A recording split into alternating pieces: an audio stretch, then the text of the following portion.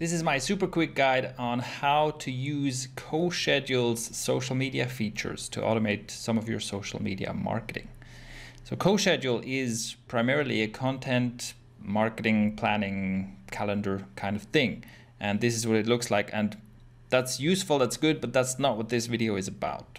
This video is about how you can use CoSchedule to automate your social sharing. And to do that, I'll show you a post here in WordPress, when you go to your post editor and you have CoSchedule installed, then you'll see that there is a CoSchedule section in your post editor. And what you can do here is you can add a social campaign. And this is something that you set up a social campaign once and then you can reuse it. So you have templates over here. And so, for example, we have a template called promote new blog post. You apply this template and it gives you some input fields. So here I would add headline variations for this post, right? I type in a headline here, type in a headline here. Um, maybe add a quote from the post, a question. So that would be a question that would prompt people to come and check out this post. Another question, some stats, a shout out if we mention someone in the post, and some hashtags.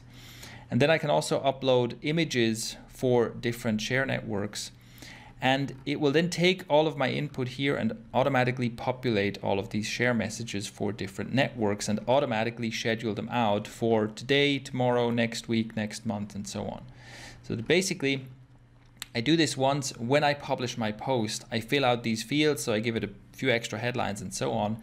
It's maybe a five minute writing job. I upload a few more images, and then everything else is automated. So automatically it will be scheduled out. It will be and, and this post will be shared and reshared over the coming weeks and months.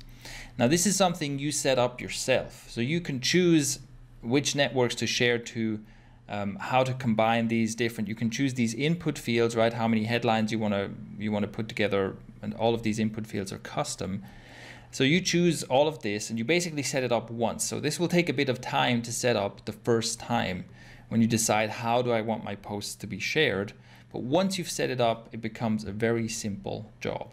And so this is what I recommend you do. What we have is we have one of these schedules for uh, sharing newly published blog posts and one of them for sharing existing blog posts. So if there's a blog post that did well, that is still relevant, that maybe we haven't promoted in a few months or longer, we can go back and again, it's like a five minute writing job filling out these fields and then we have a whole schedule of reshares going out again.